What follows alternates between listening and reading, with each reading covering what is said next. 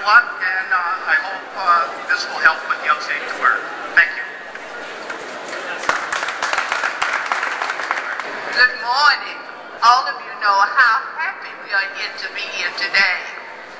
During my early years when I first started working with the youth in my church, we used to sing a song that was named Oh Happy Days.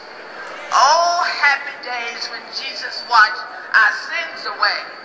This morning, we can say, oh happy days, hoping that re-employment and employment will be beneficial to residents in Greenville County. We need jobs, we need jobs, we need jobs.